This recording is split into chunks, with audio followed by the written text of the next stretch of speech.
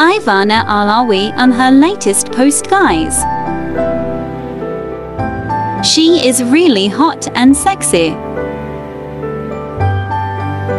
Inspire of that picture everyone knows that she is a kind and loving person.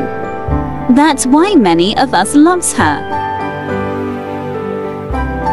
A very humble and kind person.